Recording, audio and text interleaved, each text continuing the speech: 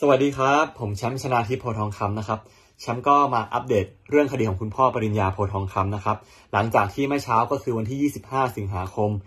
เวลาประมาณ 10 โมงเนี่ยคุณพ่อผมได้เข้าพบท่านอายการที่จังหวัดระนองนะครับ ผมตามที่ท่านนัดนะครับ ก็ได้ข้อสรุปว่าท่านอายการนะครับ ผมสั่งฟ้องทั้งคุณพ่อปริญญาโพทองคำแล้วก็คู่กรณีนะครับ ในส่วนของคุณพ่อปริญญาโพทองคำนะครับ ผมท่านอายการ แจ้งข้อกล่าวหาก็คือ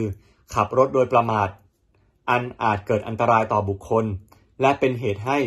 ทรัพย์สินบุคคลอื่น ได้รับความเสียหายนะครับผม โดยทางเรานะครับก็ได้ปฏิเสธข้อหาดังกล่าวนะครับ เพราะจากหลักฐานที่เรามีเนี่ย